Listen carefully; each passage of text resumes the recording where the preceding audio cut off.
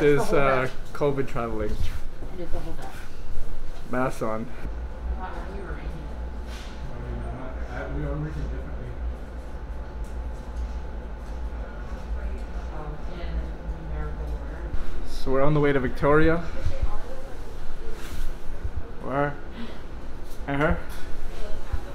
It's a last minute trip. Uh, because why not? Ace is like a high five, but I took until it. It's the high. It's the highest. So it's actually one of the uh, windiest, rainiest days out here today, and we can go outside. I don't want to do it. Oh, wow.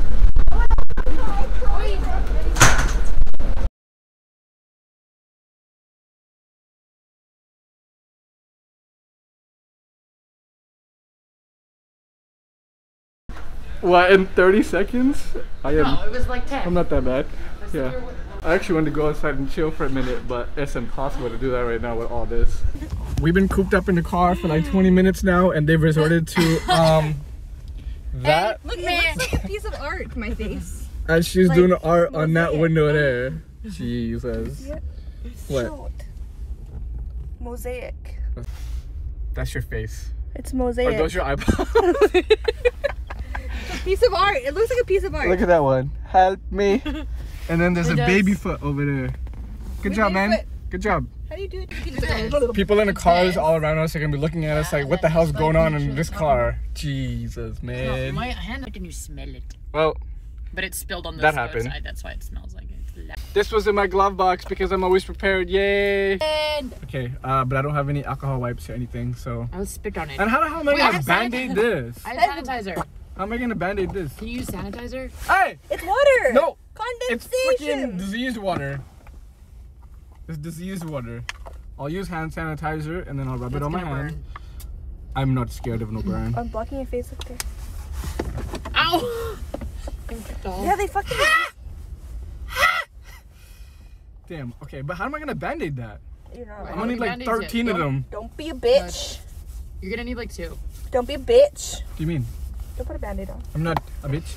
Don't put a band aid on. Yeah. Fuck, you gotta band-aid that. I'm It's just gonna sting. protecting it from getting.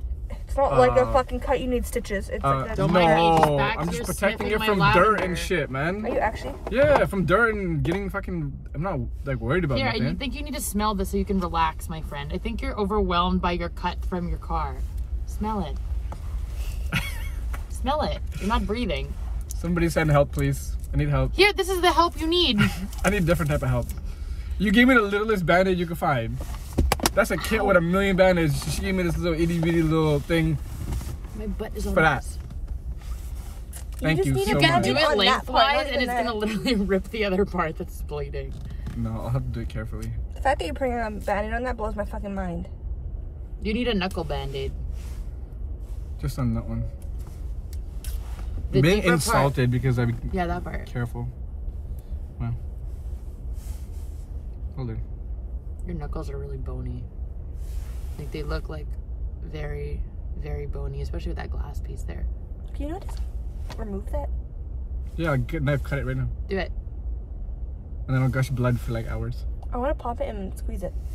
It's a piece Hey, of when you go get it removed, can we go with you so we can see it? Can you go on like Dr. Pimple Popper and then they like cut it and then just like remove it? Like Send one help. piece, like I want to see it. Send help.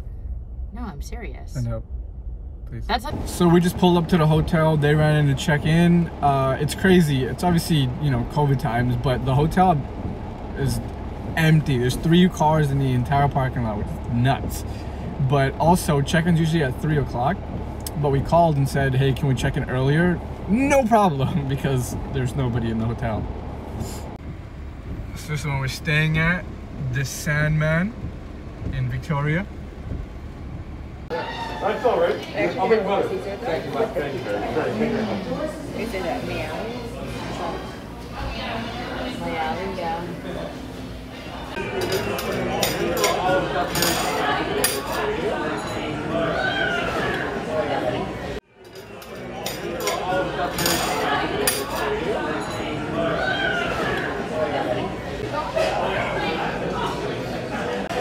So we're at a place called uh, Il Terrazzo. It's one of the, um, in my opinion, the best pasta places I've ever been to. It's a cool Italian joint, and it's hidden in a cool little alley.